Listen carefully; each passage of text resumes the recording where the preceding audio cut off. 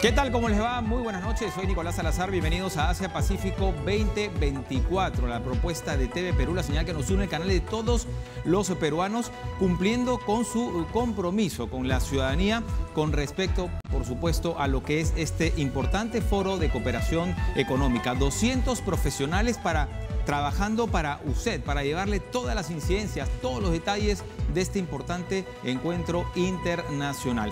Jorge Antonio Chávez, en breve, eh, por cierto, vamos a conversar con la ministra de Comercio Exterior y Cultura y con un representante del Ministerio, eh, eh, la ministra de Comercio Exterior y Turismo y con un representante del Ministerio de Cultura pero también vamos a tener mucha información ya sobre la Semana de Líderes y todas las actividades que pasan más allá, incluso que van más allá de eh, los encuentros eh, bilaterales o multilaterales. Decía, Jorge Antonio Chávez, el conductor de, eh, principal, digamos, de este espacio, se encuentra en el Centro Internacional de Prensa desde San Borja. ¿Cómo estás, Jorge Antonio?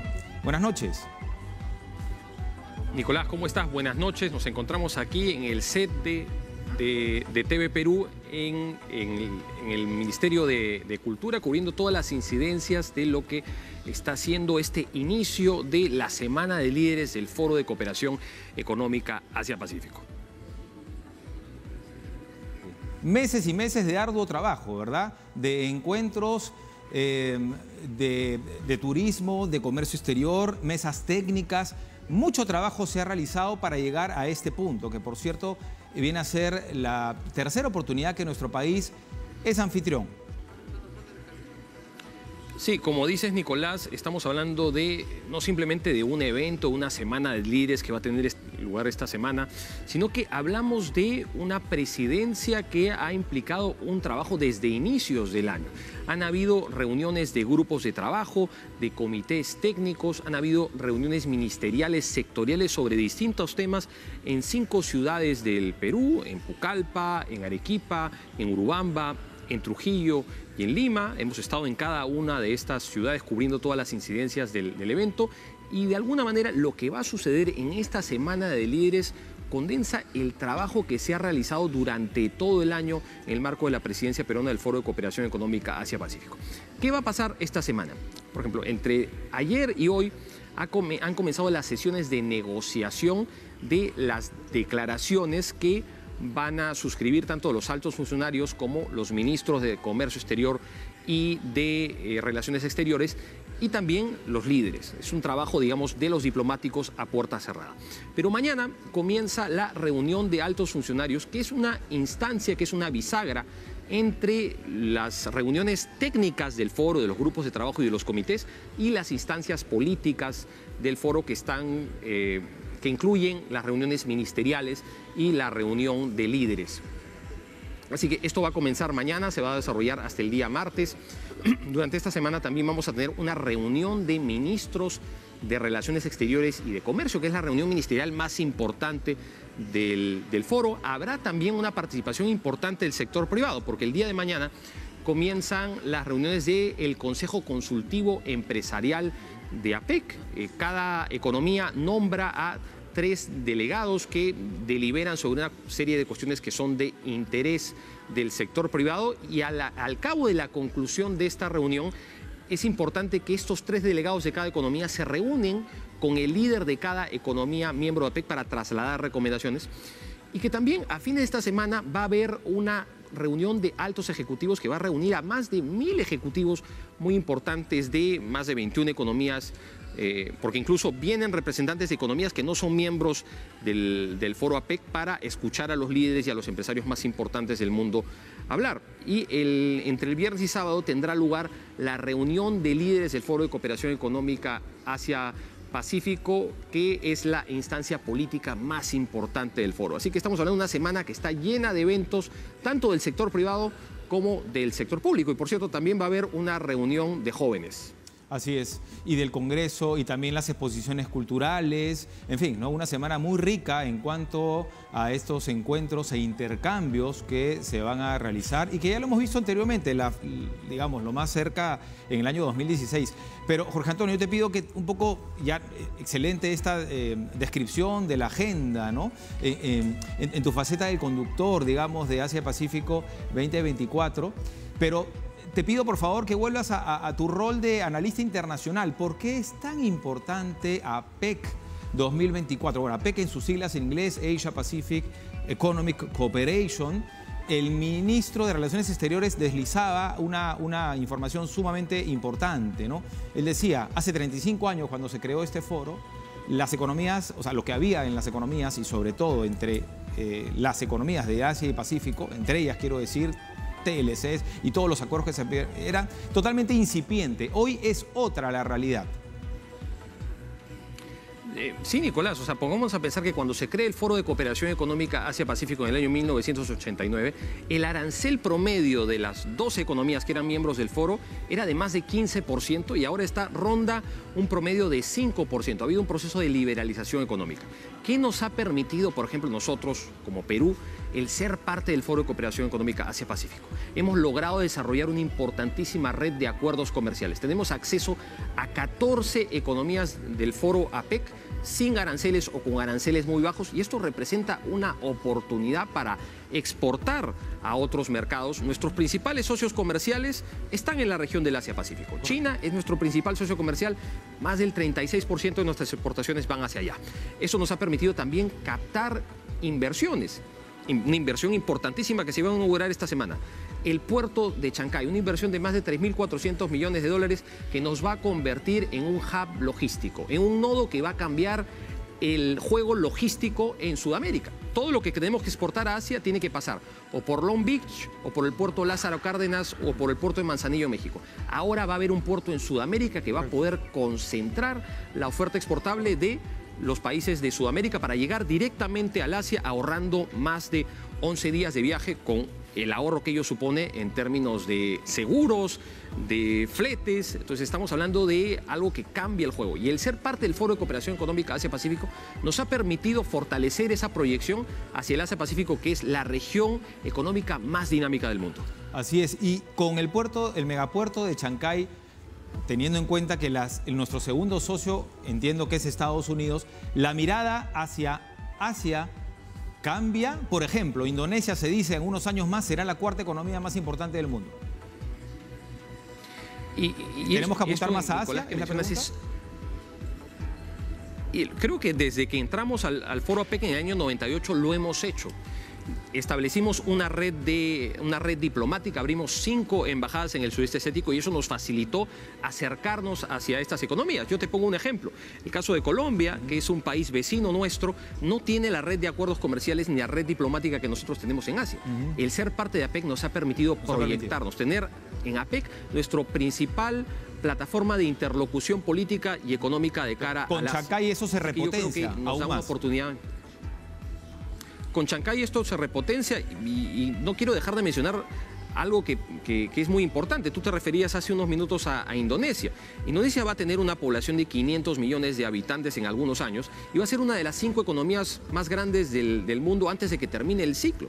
Y el Perú está negociando un acuerdo de libre comercio con Indonesia que probablemente se cierre el próximo año. Estamos hablando de la oportunidad de entrar a un mercado de más de 250 millones de habitantes. Y esto presenta una serie de, oportunidades para nosotros, tanto para nuestros productos industriales como para nuestras materias primas. Bueno, y el Perú va a ayudar a otros países de la región a llegar también a Asia. Por supuesto, o sea, como decía en el caso de Chancay, si es que se quisiera exportar desde el puerto de Valparaíso de San Antonio en Chile, ¿qué tendría que hacerse? Ir hacia un puerto congestionado como el de Manzanillo en México o a Long Beach esperar para que esa carga pueda ir a otro barco y llegar hasta, hasta China. En este caso, los envíos desde San Antonio, desde Valparaíso, van a llegar directamente a Chancay y desde Chancay va a haber una ruta directa que nos va a conectar con China. O sea, hay quienes ven a Chancay como una amenaza para los otros países de la región, pero es lo contrario.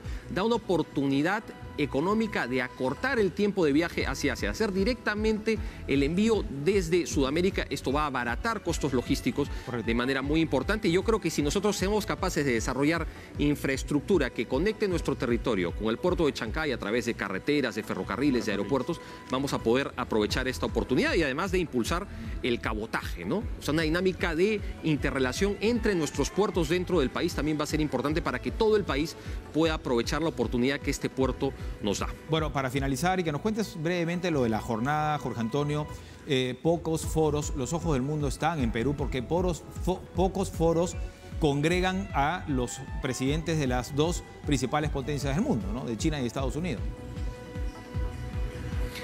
Sí, por supuesto. O sea, vamos a tener aquí a los líderes de las dos principales potencias del mundo en un contexto particular porque pues ya va a haber una nueva administración en los Estados Unidos, la administración de, de, Donald Trump. Durante la administración de Joseph Biden, si bien han habido tensiones crecientes con China, pues ha habido una institucionalización de las relaciones, ha habido interlocución al más alto nivel entre los secretarios de Estado, los asesores de seguridad nacional, los ministros de comercio y de economía. Entonces, el, peligro es, bueno, ¿qué va a suceder cuando Trump llegue al poder?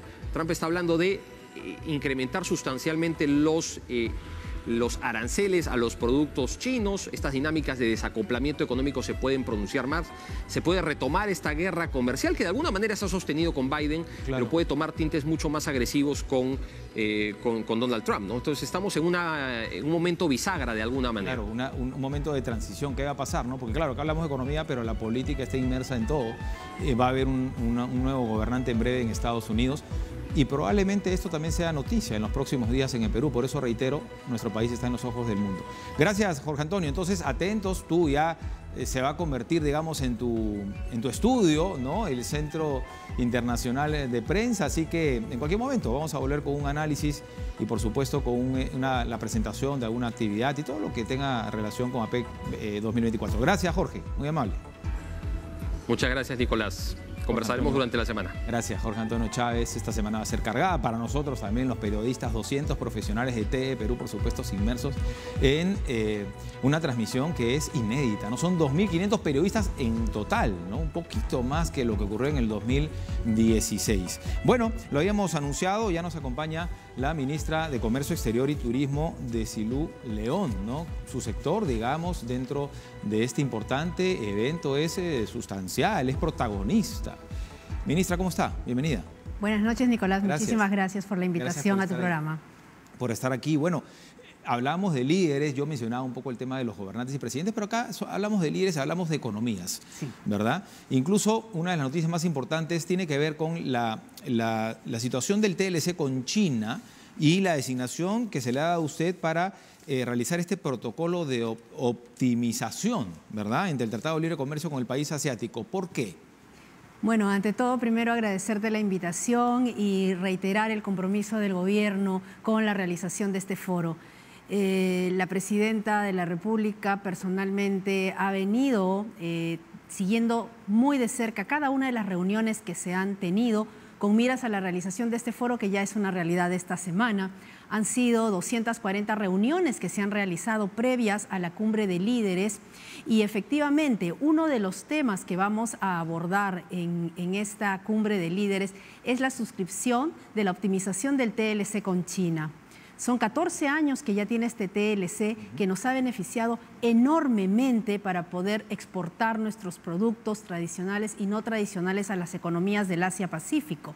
La delegación que se me ha otorgado en mi calidad de ministra de Comercio Exterior y Turismo es justamente poderes plenos para la suscripción del tratado, eh, de la optimización del Tratado de Libre Comercio que eh, en este momento va a incluir, una vez que se suscriba, cinco capítulos más y siete de los capítulos que ya existían han sido mejorados. Han sido 14 años de aprendizaje, 14 años en los que hemos podido ver cómo ha crecido nuestra economía de 3 mil millones que se exportaban cuando recién empezamos más o menos eh, en el 2006 eh, teníamos una cifra más o menos de 3 mil millones de dólares de exportación a los 44, más de 44 mil millones de dólares que hemos llegado al 2023.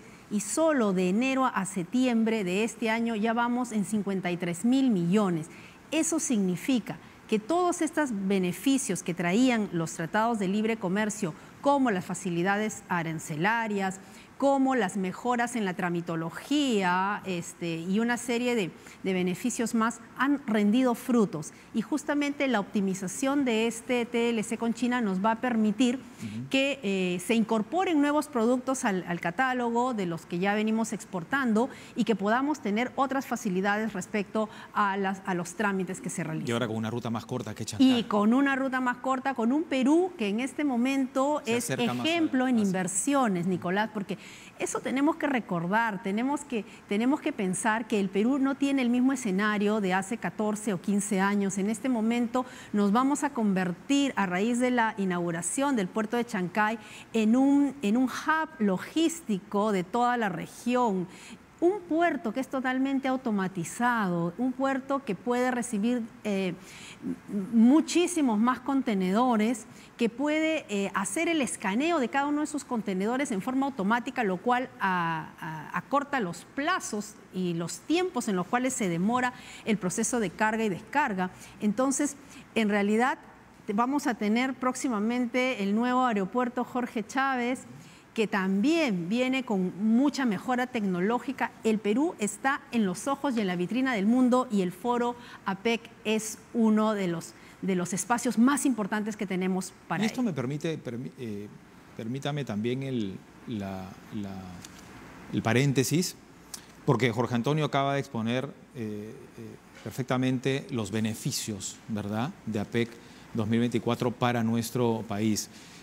pero ¿Cómo podríamos decirle al ciudadano, a la ciudadana que nos ve hoy, a esta hora, sobre los aspectos tangibles de este importante eh, encuentro internacional, ministra, eh, toda vez que hay todavía quienes dicen o que pretenden manifestarse por estos días, ya se les ha pedido que, eh, seamos unos buenos anfitriones, que, dejemos las protestas que pueden ser válidas para otro, momento. Hay aquellos que todavía aún se quejan de, de la planificación como se ha dado, que se le dé tanta seguridad o que de pronto haya muchos feriados tangiblemente, ¿qué le podemos decir a ese ciudadano? ¿Cómo va a cambiar su vida? Claro, nada es de la noche a la mañana, pero lo que va a pasar acá en Perú, ¿cómo va a repercutir en la vida cotidiana de los peruanos y las peruanas? Comenzamos por algunos ejemplos. El, el, APEC no es solamente una reunión de líderes donde se suscriben declaraciones o se suscriben acuerdos que de acá a un tiempo dan resultado. No, es un hoy, solamente con el turismo, Nicolás. Solamente con el turismo hoy más de 15 mil visitantes solo a consecuencia del foro, en los cuales representan un ingreso para el país directo y una movilización de las economías locales, porque cuando los turistas vienen lo que consumen es el producto local, la gastronomía de nuestros pueblos, em, la artesanía. La artesanía, los artesanos, que los vamos a tener dentro, de, dentro del foro, donde también estamos teniendo un APEC ciudadano en Lima, donde tangiblemente van a estar expositores de las economías, pero también nuestros propios, digamos, entidades y nuestros propios expositores artesanos que van a poder ofrecer lo que ellos tienen al mundo.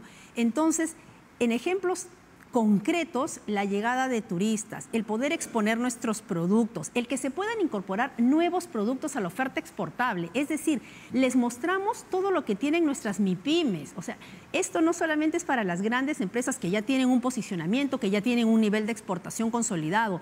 Esto fomenta la formalización. Una vez que tú sientas de que las economías requieren tus productos, lo primero que tú vas a decir es necesito ser formal y capacitarme para poder exportar. Hay procesos de capacitación inmersos dentro de todo este proceso para llegar a la cumbre de la PEC. Entonces, todo eso se ve directamente directamente relacionado con la mejora de la vida del ciudadano. Esto es inmediato. Esto es inmediato. Y a partir de APEC 2024 podemos vislumbrar eh, la recuperación más rápida del turismo, por ejemplo, ¿no? que antes de pandemia tenía, digamos, eh, una... Una cifra.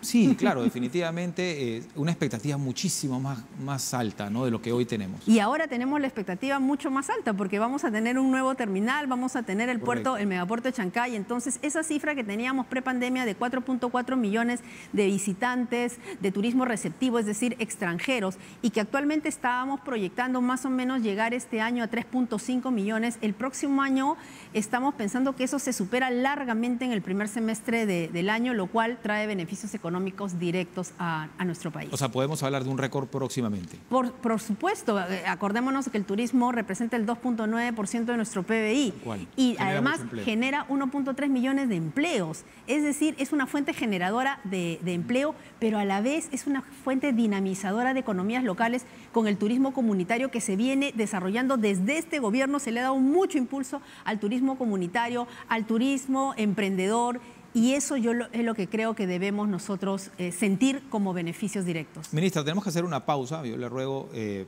quedarse con nosotros un rato más porque hay muchos temas más que abordar. Le decía, su sector es protagonista en este importante encuentro. Me gustaría conocer también, además de lo que señalaba eh, Jorge Antonio, la posibilidad del TLC con Indonesia. ¿Qué otros acuerdos ¿no? se tienen previsto? Al menos reuniones, acercamientos. ¿no? Queremos también que nos cuente acerca de la tarjeta ABTC, ¿no? de qué manera los participantes en este foro económico pueden aprovechar esta, esta, este documento, digamos. ¿no? Así que hacemos una pausa, volvemos con la ministra de Comercio y Exterior, eh, Comercio Exterior y Turismo, aquí en Asia Pacífico 2024.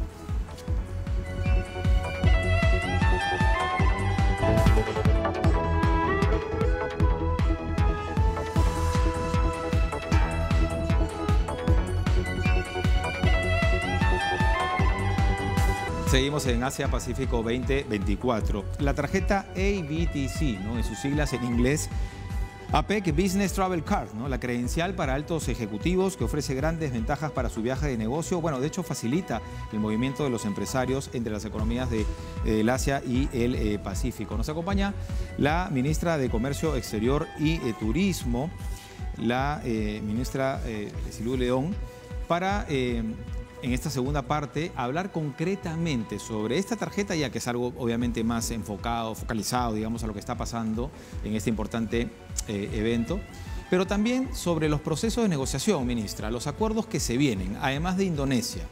Cuéntenos, por favor. Bueno, muchas gracias. Bueno, efectivamente, sobre los acuerdos eh, comerciales que se vienen, nosotros ya estamos en la cuarta rueda de negociación con Indonesia y, eh, y, en este caso lo que podemos nosotros, digamos, a la fecha vislumbrar es que eh, así como, como estamos avanzando, digamos, hay algunos avances sustantivos en la suscripción de, de, este acuerdo, podamos estar pensando que en el 2025 podamos tener un nuevo TLC con Indonesia. Así como con Indonesia se viene, eh, se viene gestionando un nuevo TLC que nos va a favorecer mucho como país, porque para Indonesia, eh, un, digamos, una parte importante de lo que ofrece el mercado peruano son los servicios.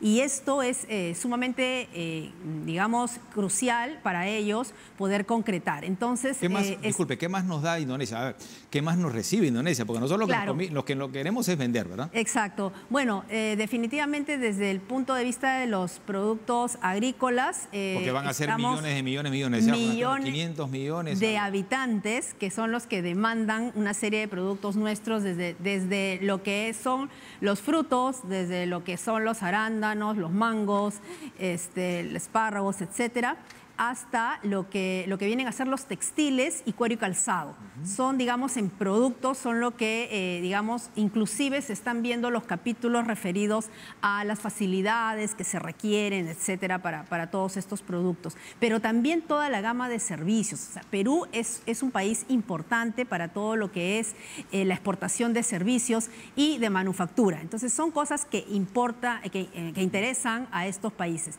pero a la vez también venimos, este, mm, digamos, negociando otros TLCs, ¿no? Venimos eh, viendo la eh, puesta en vigencia del TLC con Guatemala, también el TLC con El Salvador, el TLC con Uruguay y también el TLC con India con quienes, eh, digamos, ya vamos también en la octava reunión, reunión de negociación y también esperamos poder concluir exitosamente estas reuniones de negociación de cara a que el 2025 podamos contar con nuevos TLCs.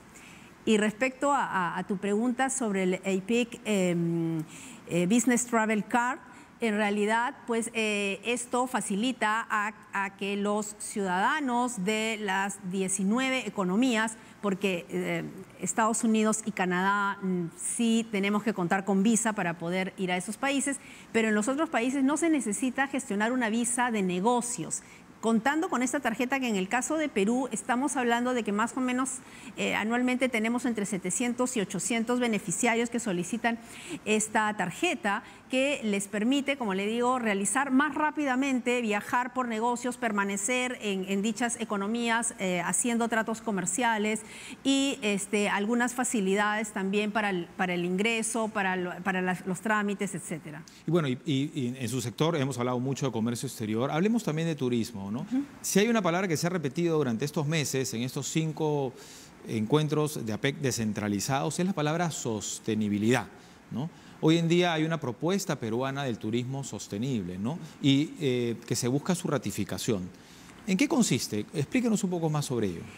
En este momento tenemos que pensar que nosotros como, como, como país tenemos una riqueza cultural inigualable y una serie de destinos turísticos, pero debemos ser responsables porque tenemos que resguardar un patrimonio cultural y natural. Eso nos obliga a, adoptar medidas de sostenibilidad, muchas de las cuales, digamos, ya se han venido implementando, como por ejemplo en el santuario de Machu Picchu, ¿no? que se han tenido que adoptar medidas para los temas de aforo de los visitantes, porque tenemos que cuidar. Y el tema de sostenibilidad en el turismo es sumamente importante, tener guías generales y que todos los países respetemos digamos, eh, la, poder ejecutar un, turismo sostenible e inclusive dentro de, las, dentro de los ejes que se, que se están viendo dentro de lo que es sostenibilidad, resiliencia, eh, tenemos que ver, por ejemplo, un punto que se ha tratado importante es cómo tratar los grandes desperdicios de alimentos que se, que se tratan eh, en todo el mundo. Entonces, todo este tipo de cosas son las que se abordan en este tipo de declaraciones y hay que tener en consideración que la última reunión que se llevó a cabo de ministros de, turismo este, pudo concluir con declaraciones, que es lo que nosotros eh, esperamos después de cada una de estas reuniones. Ministra, muchas gracias. Gracias por haber estado aquí. Seguramente en los próximos días también vía TV Perú, que es la señal que nos une y que es, digamos, eh, que, que tiene mayor compromiso por ser la señal de todos los peruanos. Seguramente vamos a conversar más al respecto. ya nos va a contar en, mayor detalle sobre los resultados de lo que va a ocurrir el día miércoles, que es el encuentro de los ministros de Comercio Exterior eh, de, los, eh, las economías líderes. Muchísimas gracias, Nicolás. Y nuevamente invocar a todos a dar lo mejor de nosotros, a mostrar el país que tenemos, a, a evitar manifestaciones, marchas totalmente respetables y muchas con las cuales nos solidarizamos, porque sabemos las preocupaciones que existen y el gobierno viene trabajando incansablemente por la seguridad. Sin embargo, este es un momento de unión, este es un momento, es un momento tan breve que necesitamos estar unidos y mostrar lo mejor que somos los peruanos. Muchísimas gracias. Gracias, ministra. Y como bien decía Jorge Antonio Chávez, va más allá PEC 2024 de, eh, del comercio, va más allá de los negocios, de los acuerdos y por supuesto la... Eh, la presencia de líderes de las principales economías del mundo, esta parte del continente, por supuesto, y también del Asia, del Asia y del Pacífico. ¿no? Van a haber encuentros eh, del Congreso, van a haber encuentros eh, donde vamos a exponer nuestra cultura. De hecho, más adelante un representante del Ministerio de Cultura va a estar aquí y nos va a hablar sobre esta presentación en las Huacas, sobre la, el arte, la danza que estamos eh, exponiendo como, como país. Pero también hay, y, esto, esto, y hay un encuentro también de jóvenes, todo eso vamos a ir contándoles a lo largo de esta semana. Pero también decía, hay el llamado APEC Ciudadano. ¿no? Es precisamente un espacio donde los eh, líderes que están participando, los países que están participando de APEC 2024, van a exponer parte de ellos. Ahí se encuentra Ali Ayala y tiene un reporte muy interesante, ¿no? Puericultorio Pérez Araníbar. Ali, buenas noches. Nicolás, buenas noches. Así es como bien señalas, nos encontramos en las instalaciones del Poricultorio Pérez Aníbal en Magdalena del Mar, lugar donde se va a llevar a cabo el llamado APEC Ciudadano 2024, que va a reunir a distintas entidades del Estado y también de las economías que van a participar en el foro del APEC para dar un alcance a toda la ciudadanía, brindar distintos tipos de servicio, becas, alcances, eh, información y además un espacio de eh, intercambio cultural también que se va a realizar con las distintas, con distintos países eh, que van a participar de este foro de cooperación internacional y qué hermoso lugar además para realizarse que es el Poricultorio Pérez San Aníbal, instalaciones muy bellas como podemos ver, donde ya se están instalando los stands que van a participar en este APEC Ciudadano. Vamos a, ingresar un poco a ese lugar para poder todos eh, estos stands que se están preparando y además para conocer qué actividades también vamos a poder ver porque esto va a estar abierto para todo el público en general. Vamos a conversar a continuación con Antonio Coser, representante de la Beneficencia de Lima. Antonio, cuéntanos acerca de lo que se está preparando para este APEC Ciudadano. Bueno, antes que nada agradecerles eh, a IRTP por brindarnos este espacio de poder eh, comunicarle a la ciudadanía en general de qué trata y de qué va el APEC Ciudadano organizado por la Beneficencia de Lima Metropolitana. Ya se están preparando acá los stands. Si podemos ir viendo algunos de eh, aquí, por ejemplo, está preparando el Ministerio de Energía y Minas eh, todo lo que es, la información que va a brindar a, la ciudadanía, algunos apoyos también que se van a realizar, ¿cierto? Desde luego que sí, sin duda. Este, tenemos ya confirmadas entre 80 eh, participantes entre diversas entidades del sector público nacional, como el Ministerio de Energía, más allá del Midagri, Produce, el stand de IRTP. Eh, tenemos la zona de las economías que están confirmadas, que forman parte del foro APEC. Eh, Estados Unidos, Rusia, México, Japón, Corea y tenemos un programa cultural, un auditorio en donde se van a mostrar eh, diferentes shows, ponencias, charlas, cursos, eh, para poner, digamos, en conocimiento las ventajas, bondades y beneficios de la PEC a la ciudadanía. ¿Qué días se van a realizar este llamado APEC Ciudadano? Eh, ¿En qué horarios de repente? Y además es abierto a todo el público, ¿cierto? Sí, e, eso es bien importante porque esta es una feria eh, inclusiva que va desde el día 12, que se inaugura, es un evento que lo va a inaugurar la Presidenta de la República, y va hasta el día 16 de noviembre de 11 de la mañana a 9 de la noche. Y es importante también porque enmarca, eh, digamos, el alcance de los programas sociales de la beneficencia de Lima y justamente coincide con la campaña Alimentando Corazones que estamos eh, poniendo en conocimiento para que nos puedan eh, ayudar, apoyar con las donaciones. Así es, y hay una, un sinnúmero también de actividades culturales que se va a realizar tanto para los ciudadanos peruanos como también para los turistas. Un poco muestra de esto, ¿verdad? Sí, efectivamente. Eh, tenemos eh, diversos shows artísticos que participan, por ejemplo, eh, los tambores de Okinawa, de Japón, los dragones chinos, y un conjunto de capela de, los, de Alaska, de los Estados Unidos, el ballet folclórico ruso. Eh, y definitivamente también nuestras danzas y, bailes culturales peruanos que son tan, tan bonitos y tan ricos. ¿no? Y ese evento también es organizado por la Beneficencia de Lima Metropolitana en apoyo de entidades del Estado y lo que ustedes también piden en base también la, la mística de la beneficencia es un apoyo también para los que más necesitan, ¿no? Sí, definitivamente que sí. Eh, hemos hecho un trabajo bastante arduo en poder desarrollar esta feria con el apoyo de la Cancillería y Mincetur y nuevamente eh, poner al alcance y en conocimiento de la ciudadanía eh, la campaña Alimentando Corazones para poder ponerlos a disposición eh, de nuestros albergados y nuestras personas vulnerables como son los niños, nuestros abuelitos, personas en situación de mendicidad y calle también. Y es por ello que piden también que las personas que, vengan al APEC Ciudadano puedan traer alguna, alguna donación para las personas que más lo necesiten. Sí, estamos esperando y, solicitándole a la ciudadanía que se puedan acercar eh, con alguna donación, sobre todo en este marco, digamos, de alimentando corazones, alimentos no perecibles, también pañales, suplementos vitamínicos que tanto nos hacen falta y es para justamente aprovechar y ponerlos a disposición de nuestros eh, albergados.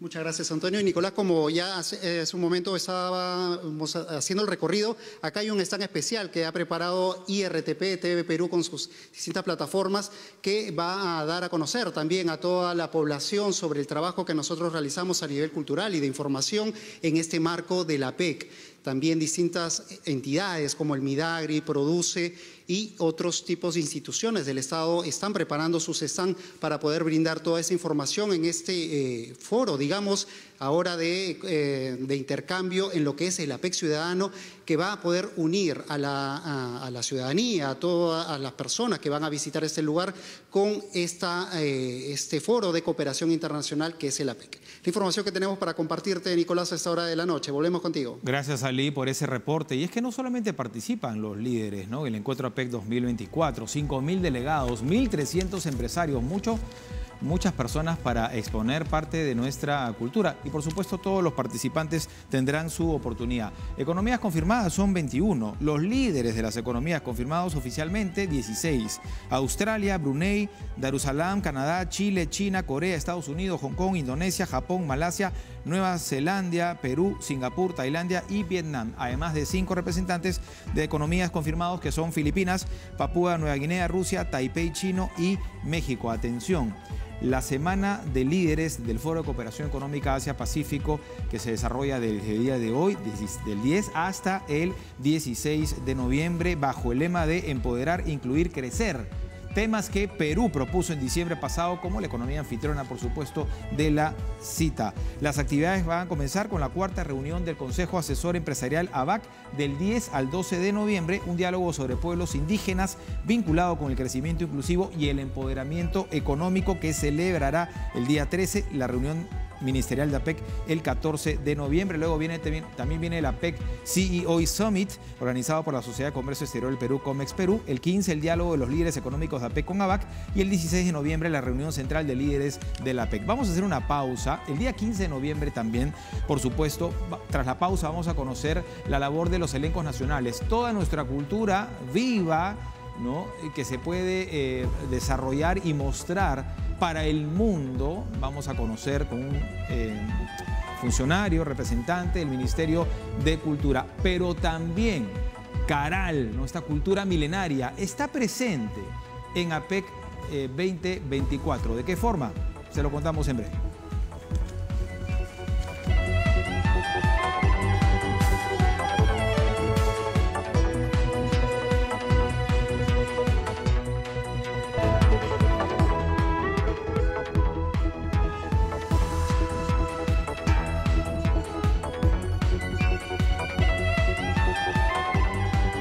Estamos de vuelta, muchas gracias por acompañarnos y vamos con lo prometido. Volvemos al Centro Internacional de Prensa desde otro punto dentro del Ministerio de Cultura con Pablo Francia, que nos va a hablar acerca de la exhibición de la milenaria cultura caral. Pablo, ¿cómo estás? Buenas noches.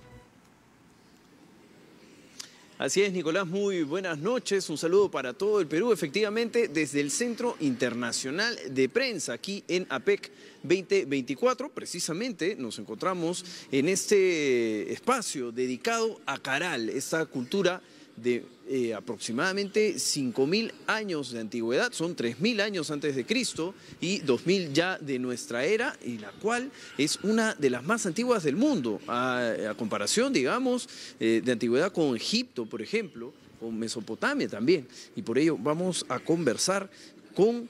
Eh, la arqueóloga Edna Quispe, ella es subdirectora de Caral, quien nos está acompañando aquí en ese importante espacio que se ha habilitado dentro de APEC. 2024. Bienvenida a TV Perú Noticias a eh, Asia Pacífico 2024. Coméntenos por favor respecto a eso. Eh, mucha gente va a estar aquí, va a poder ver eh, muy cerca nuestro cultura. Esperamos que sí, muchas gracias.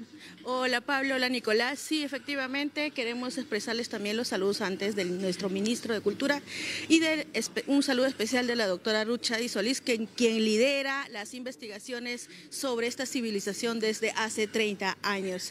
Efectivamente, hemos hecho una presentación curatorial museográfica que está orientada a presentar la sabiduría milenaria de la civilización Caral. Sabemos que con Caral hemos cambiado la historia peruana y también hemos cambiado la historia del mundo.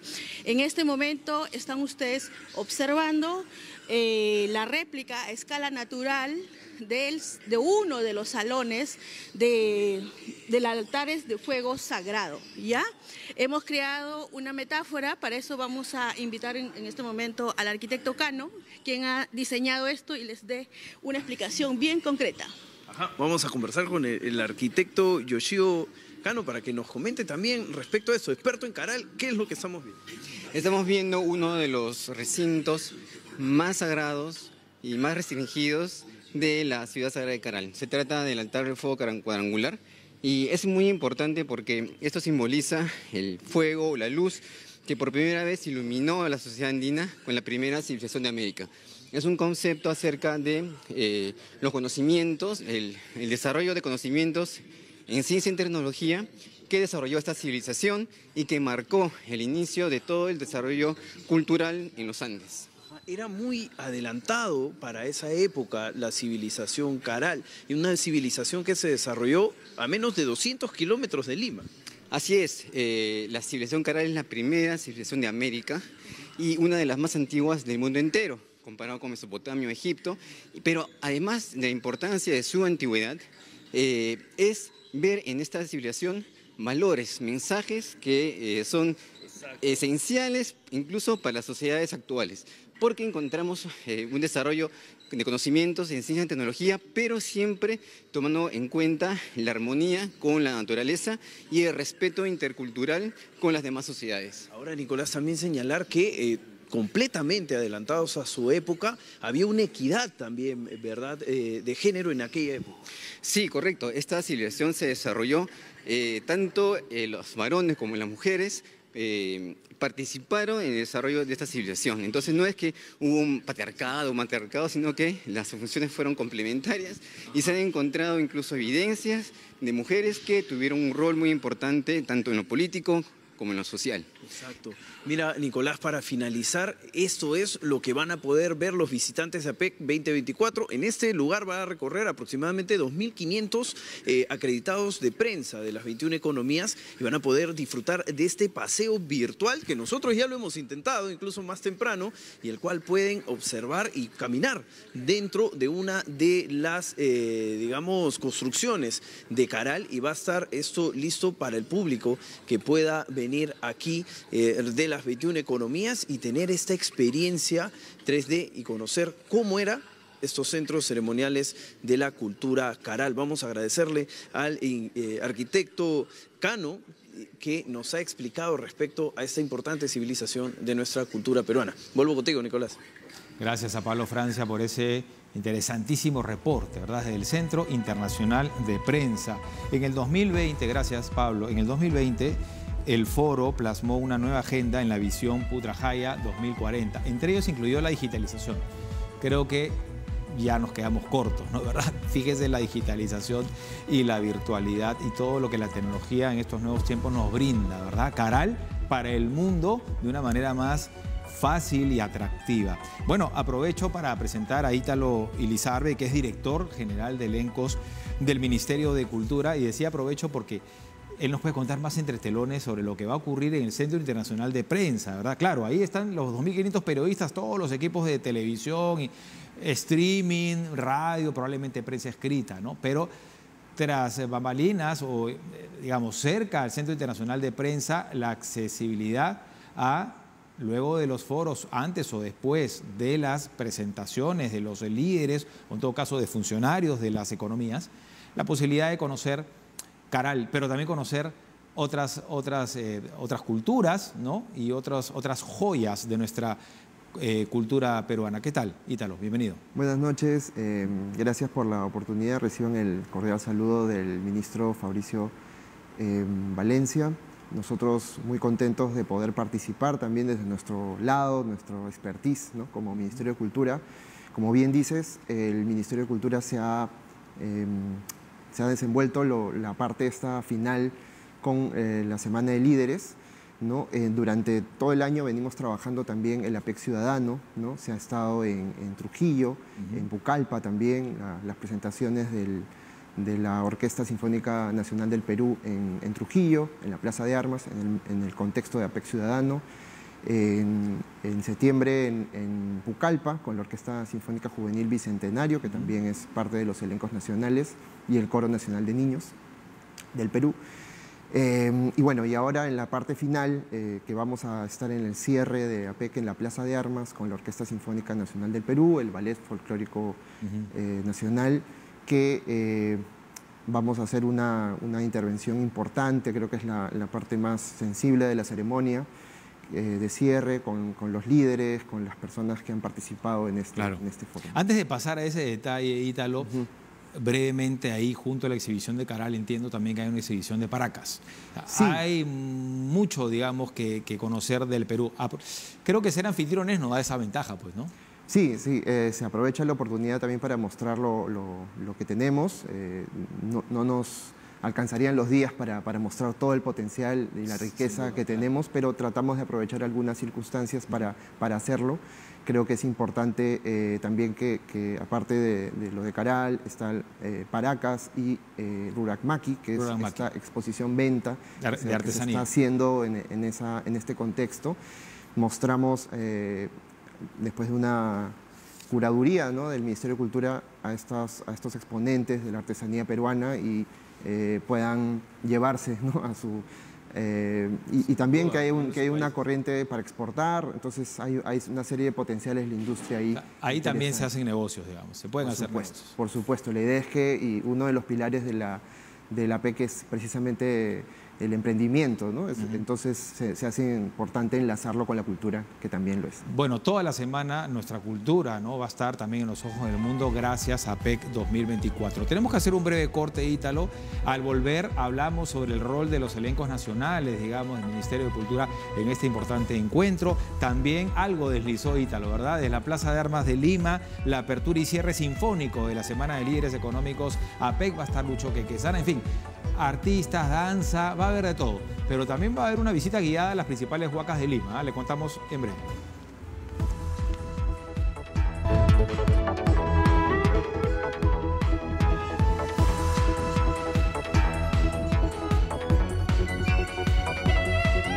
Seguimos aquí con Ítalo Ilizarbe, él es director general de elencos del Ministerio de Cultura como parte del programa APEC 2024. Su día central, Ítalo, gracias nuevamente por estar aquí, es el 15, ¿verdad? El 15 de noviembre. ¿Qué va a haber ese día? Tenemos un escenario muy importante eh, apostado en el atrio de la Catedral de Lima. Van a estar la Orquesta Sinfónica Nacional eh, en pleno y el Ballet Folclórico Nacional. El Ballet Folclórico tiene la característica de tener músicos, son nueve músicos, eh, y, bailarines. ¿no? Entonces se va a poner una, eh, creo que es la parte más importante de la ceremonia. La Orquesta Sinfónica Nacional, eh, liderada por Fernando Valcárcel, va a interpretar el Cóndor Pasa, ¿no? que digamos que tiene esta, esta mirada también internacional, que es una música que ha sido tocada por principales exponentes en el mundo, entonces se hace propicia que la pueda hacer la orquesta el maestro Lucho Quequesana va, va, ha compuesto una música para, para las 21 economías que tiene que ver una relación de los sonidos de, estos, de estas culturas ¿no? también que, se, salen de ahí. Eh, la va a interpretar junto con eh, la Orquesta Sinfónica Nacional y eh, nosotros tenemos la participación de los bailarines del ballet folclórico a través de tres danzas, ¿no? marinera, eh, que bueno, representa la costa, eh, y Opatati que representa a la selva, ¿no? y Wireless que representa a la sierra. ¿no? Entonces eh, vamos, a, vamos a tener esa participación. Para la prensa internacional y de los delegados, la de la Plaza de Armas para los líderes. Sí, es para las delegaciones. Las delegaciones. Las delegaciones en completo. digamos, los líderes van a estar en el Palacio en ese momento. Supuestamente van a estar ahí, digamos. Esto no se sabe, ¿no? Por medidas de seguridad a veces se optan por pero, pero el planteamiento es así. La idea es a todos los participantes. Exacto, que, estén las delegaciones de la, de la PEC van, a presenciar este, este espectáculo que, digamos, requiere posicionar la, cultura, ¿no? la cultura peruana, la identidad y mostrar, por supuesto, esta, esta línea. Correcto. El programa también habla de, eh, ese mismo día en la mañana se va a realizar una visita oficial de cónyuges, de delegados, a PEC, al Museo de Sitio de Pachacamac, pero también una visita guiada a las principales huacas, podríamos decir, en Lima. Sí, eh, se han denominado el Huacatón. Huacatón. Sí, son siete, siete huacas, entre ellas Mateo Salado, Julio Cetello, están ubicadas entre Pueblo Libre y el, Cercado. ¿no? este, se pueden inscribir a través de la, de la, web del Ministerio de Cultura, de las redes sociales del Ministerio de Cultura, y este link de inscripción. Eh, es una manera también de hacer partícipe, porque digamos, las huacas que, las tenemos cerca, ¿no? Eh, también es importante participar, conocerlas para cuidarlas. Eso es muy importante, así que también se ha ideado eso. Correcto. Ítalo, Ítalo eh, brevemente, eh, aquellos que, bueno, yo no me puedo incluir porque como parte de Perú voy a estar al tanto de todo, pero los peruanos y las peruanas que nos están viendo hoy, ¿cómo pueden disfrutar de estos espectáculos? O sea, a través de la difusión de los medios de comunicación o hay alguna otra forma? Bueno, todas las actividades están, eh, son participativas, muchas de ellas, ¿no? algunas como sabrán son parte del, protocolo, pero eh, están en las, en las redes sociales del, Ministerio de Cultura, eso, eso está liderando también eh, Cancillería, ¿no? entonces creemos muy importante que, que puedan hacerse em, partícipes de estas y, por supuesto convocar, ¿no? convocar familias, es una actividad para todos los, los ciudadanos y que eh, nos sentimos contentos de hacerlo. Gracias, Cita. Los sentimos orgullosos, ¿verdad? No solamente de poder este, organizar, ser anfitriones de este importante foro, sino por lo que podemos eh, exponer ¿no? al mundo. Gracias, Ítalo, muy amable. Gracias a ustedes. Ítalo Ilizarro estuvo con nosotros, director general de elencos del Ministerio de Cultura. Atención porque hablando, hablaba más temprano sobre la seguridad, ¿verdad? Bueno, eh, unidades especiales de la Policía Nacional ya han informado, van a garantizar la seguridad de los más de 2.000 periodistas acreditados para el Foro Asia-Pacífico 2024. El Ministerio de Cultura, como también lo hemos mencionado, alberga pues este centro internacional de prensa en el que se mantienen estrictas medidas de seguridad, tanto en los exteriores del recinto como al interior del complejo, según ha revelado el jefe de seguridad de este evento, César Echevarría.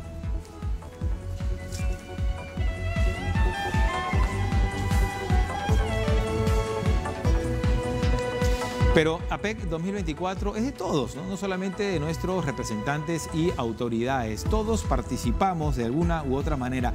Estos que ven en, las imágenes son jóvenes voluntarios. Ellos se van a encargar de guiar a cada una de las autoridades y por supuesto a los visitantes que lleguen hasta el Ministerio de Cultura en el marco de APEC 2024. La ayuda está dividida de acuerdo a las actividades que se realizarán, ¿no? como prensa, marketing, mesa de informaciones, transmisiones, entre otros.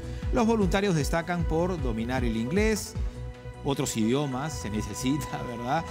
Para una comunicación fluida con los asistentes, incluso uniformados, ¿verdad? Y prestos, con mucha iniciativa.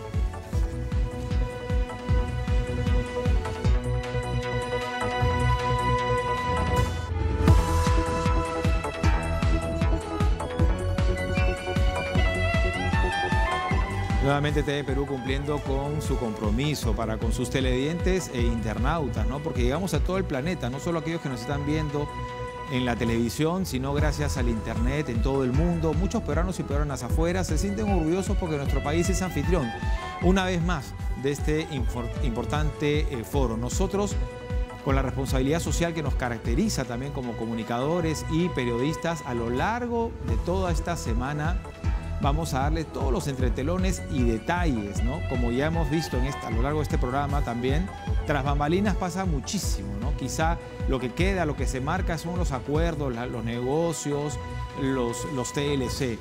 Pero eh, lo tangible es que nuestro país tiene una gran oportunidad de exponerse ante el mundo, generar turismo que da mucho trabajo también el comercio eh, exterior. ¿no? Así es que no solamente son los líderes, somos los peruanos y las peruanas que nos podemos beneficiar con este importante encuentro. Así es que no deje de sintonizarnos este programa APEC 20, eh, ah, perdón, Asia Pacífico 2024 se va a transmitir en tres horarios, mañana, tarde y noche. Así que en cualquier momento usted va a estar, puede estar al tanto de lo que ocurre en esta importante cumbre internacional. Muchas gracias por habernos acompañado en TV Perú, que es la señal que nos une, continúa con su transmisión o con su eh, programación habitual. Ahora un poquito de deportes también, ¿no? Tenemos de todo, por supuesto. Permiso, buenas noches, buen fin de semana.